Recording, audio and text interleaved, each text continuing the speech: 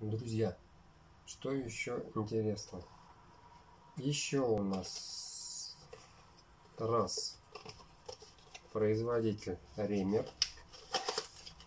Эта вещь, наверное, уже больше для эстетов. Это у нас вентилечки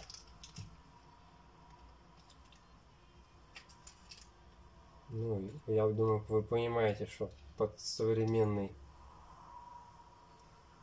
смеситель европейского стандарта резьба 3 восьмых. То есть на нее ориентировался. Закрытие, открытие шаровое.